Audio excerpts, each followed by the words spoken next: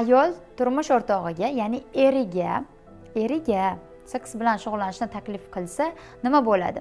Juda yam ko'pchilik ayollarimiz buni uyat deb hisoblashadi. Ba'zida eshitganman voy o'n ikki yil bo'ldi o'n besh yil bo'ldi man hech qachon seksga taklif qilmaganman.